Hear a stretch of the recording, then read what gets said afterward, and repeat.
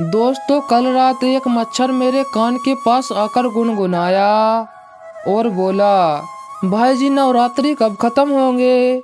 मैंने कहा क्यों मच्छर भाई? तो वो बोला भाई जी आपके खून में वह अल्कोहल कम हो गया है। मज़ा नहीं आ रहा है पहले जैसा। छात्र से टीचर ने पूछा बताओ एक साल में कितने रात्रि होते हैं? छात्र बोला सर जी, दस रात्रि।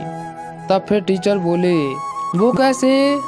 तब फिर छात्र बोला, सर, नौ नवरात्रि और एक शिवरात्रि।